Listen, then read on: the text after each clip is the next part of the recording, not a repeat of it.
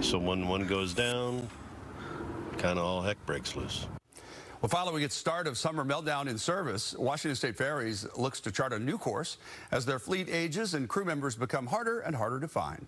Crew shortages, mechanical issues, and wait times. Washington State Ferries hasn't been able to return to normal status since the pandemic. And now they're looking to change some schedules to better reflect what operations they can run. That includes public talks next week about the schedule of ferries making runs to the San Juans. Fox 13's Matthew Smith takes a closer look to see if we will be seeing any improvements anytime soon. Matthew. Well, I think it's more accurate to say you're going to see adjustments. This is just part of the realities of running the largest fleet of ferries anywhere in the U.S. If you think about training staff to run ferries like this, it's a lot like airliners. It takes a lot of hours. And for those who ride these boats regularly, they admit things have gotten better since the pandemic, but they expect it's going to get worse. I hate lines. Luckily for Tom Carter, Midday, mid-morning, that's better time to go. lines were minimal here at the Edmonds Ferry Terminal today. Though, one look at WSDOT's vessel watch and you'll see multiple ferries in red running half hour or more behind today. kind of became a little bit more of a madhouse. I just didn't think it would be so bad that we would be stuck overnight. Issues like we saw on Memorial Day get a lion's share of attention. After all, 99 cars were stuck on the San Juans overnight. There was nowhere to go. Uh, literally. People complained about bathrooms being locked up to staff during a public meeting. Yeah, the other night when we left people behind, we left the restrooms unlocked. Okay, we had a few questions about both the Anacortes Terminal and Friday Harbor Terminal.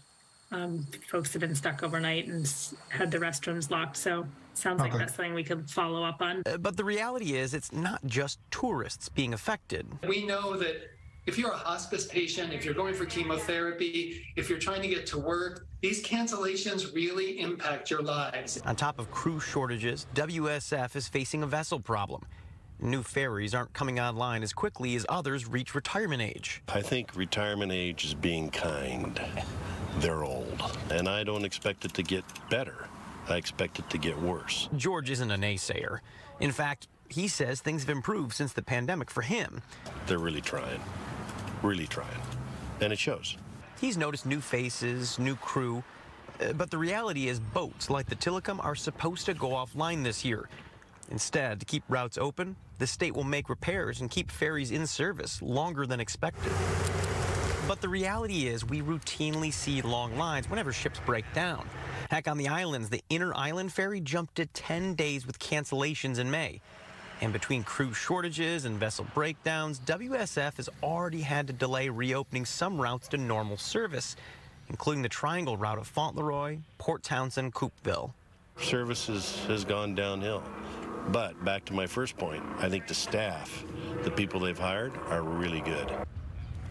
Now, we've been reporting for some time about the silver tsunami that hit at the exact same time that the pandemic hit, forcing a lot of people out of jobs to run ferries just like this one.